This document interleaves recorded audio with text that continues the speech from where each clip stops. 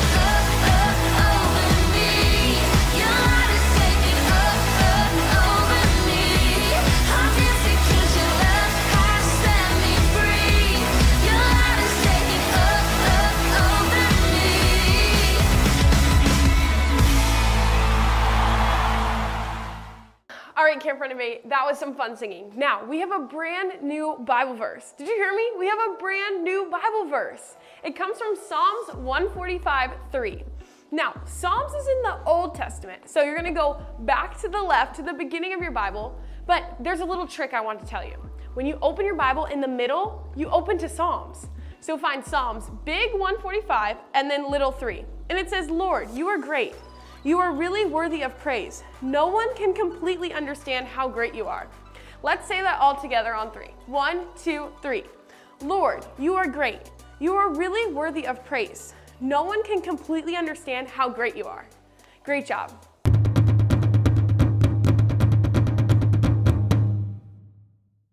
All right, Camp Renovate. Now we're going to check out a very special story in the book of Genesis. Now we're going to look at the story of creation. Now there's seven days of creation. One, two, three, four, five, six, seven. We're going to start in Genesis 1. So if you have your Bible, turn to the very first book in your Bible. Now, let's not get ahead of ourselves. We're going to break it down day by day. Now we look in the book of Genesis. The first verse, it says, In the beginning, God created the heavens and the earth. Now God said, Let there be light, and there was light. Now, I have this jar right here. This is going to represent day one. And there was light. God saw that light was good. Now, God called light day, and He called darkness night. There was evening and morning. That was day one. Now, day two, God said, Let there be a huge space between the waters. Let it separate water from water. And that's exactly what happened. God made a huge space between the water. He separated the water under the space from the water above it. God called the space, the huge space, the sky. There was evening and there was morning. That was day two. Day one, God created light and dark. Now, day two, God created the sky and the water. Well, God had something massive just around the corner land.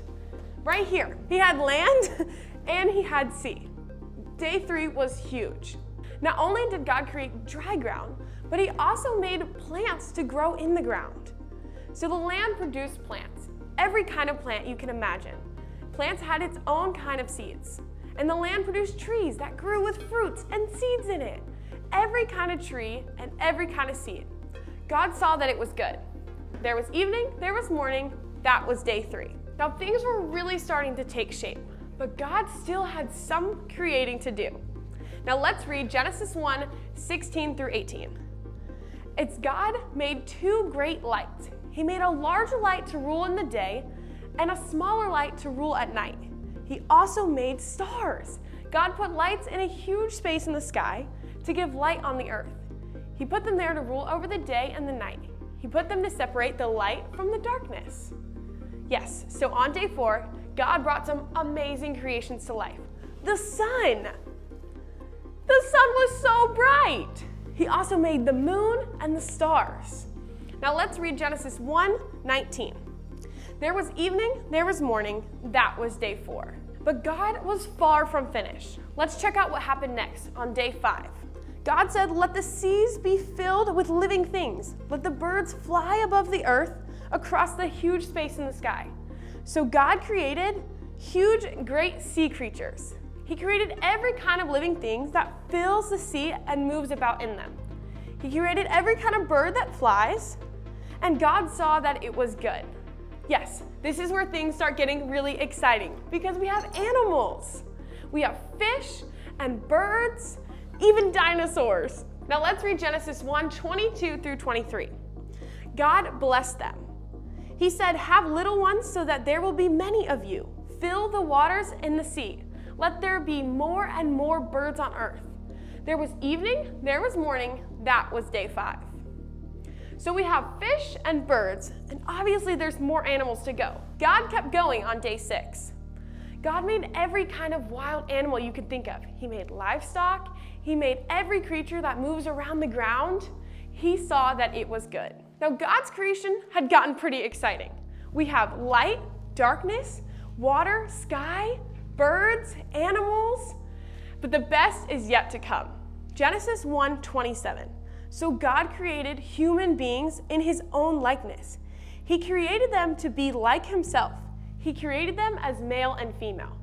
Yes, God had saved his best for last. On day six, God created people. He created me and you.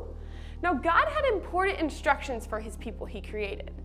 God blessed them. He said to them, Have children so that there will be many of you. Fill the earth and bring it under your control.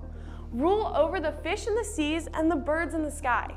Rule over every living creature that moves along the ground. God had done it. He had made light and dark, sea and water, land and sea, plants, the sun, the moon, the stars, fish, birds, and all other sorts of animals and people. Now let's read verse 31. God saw everything he had made, and it was very good. And there was evening, there was morning, that was day six. Now, what did God do next? Well, listen to this Genesis 2 2 through 3. By the seventh day, God had finished his work he had been doing.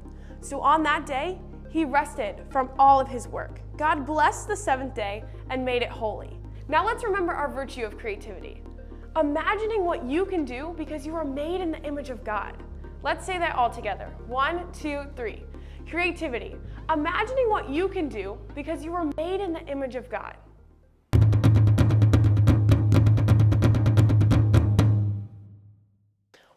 So cool how God created the earth and everything in it one day at a time?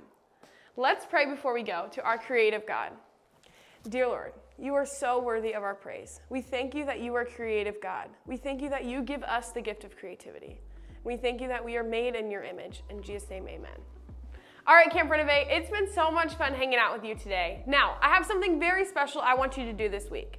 I want you to draw a picture, one for every day of creation that we talked about. So if you forgot them, you can go back and check them out in the story. All right, see you next week. Bye.